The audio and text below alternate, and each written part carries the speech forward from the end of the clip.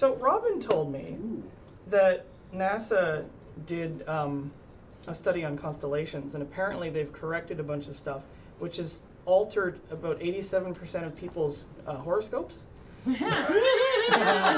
It's almost like they weren't real to begin with. Do you remember when they're like, actually, there should be a 13th horoscope in there, and they're Yeah, like, there's a that- that- small sliver of it out. people that are uh, that are apparently Ophiuchuses. Wait, Yeah. are you telling me the position of the stars in ancient Greek 2,000 years ago explains why I'm anal retentive? Yeah, maybe. Because I, was going to say this about it.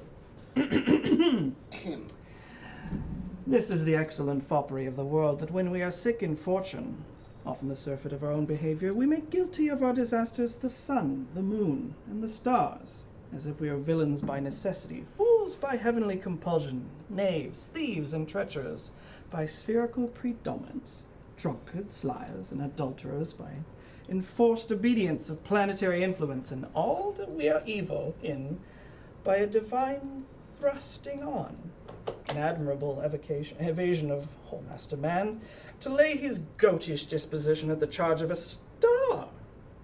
My father compounded with my mother under the dragon's tail. It was my nativity under Ursa Major, so it follows that I am rough and lecherous. I should have been that I am, had the maidenliest star twinkled on my firmament, twinkled on my bastardizing. That's my favorite uh, monologue from uh, King Lear. Edgar Mm. You're saying like, um, ho- uh, the thing.